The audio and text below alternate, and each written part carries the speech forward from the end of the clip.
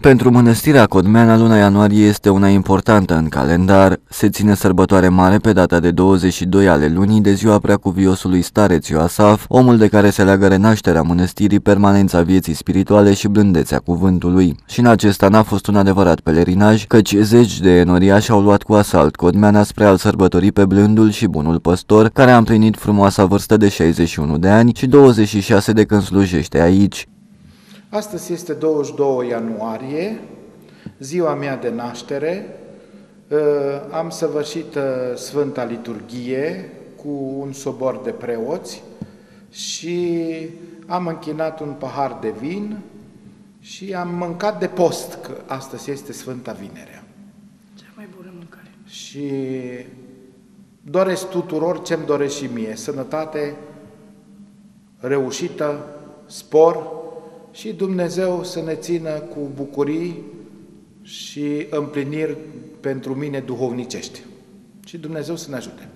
Mănăstirea este veche de mai bine de 600 de ani, fiind ridicată de Radu I, domn al țării românești, la sfârșitul veacului al XIV-lea. A fost refăcută de Mircea cel Bătrân și mai apoi restaurată și înfrumusețată de Constantin Brâncoveanu în secolul XVIII. După 1990, viața monahală a prins din nou suflet la Codmeana, sub îndrumarea starețului Ioasaf Boiciuc, vestit în toată țara. Ca în fiecare an, preacuviosul a fost acoperit cu zeci de buchete și coșuri de flori, iar enoriașii au citit și câteva poezii.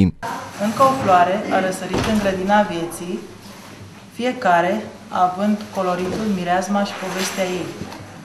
Chiar dacă uneori s-au mai năpustit și norii, cândva ascunși în spatele unor măști prietenoase, razele credinței pure au puteri nebănuite de puțin cunoscute.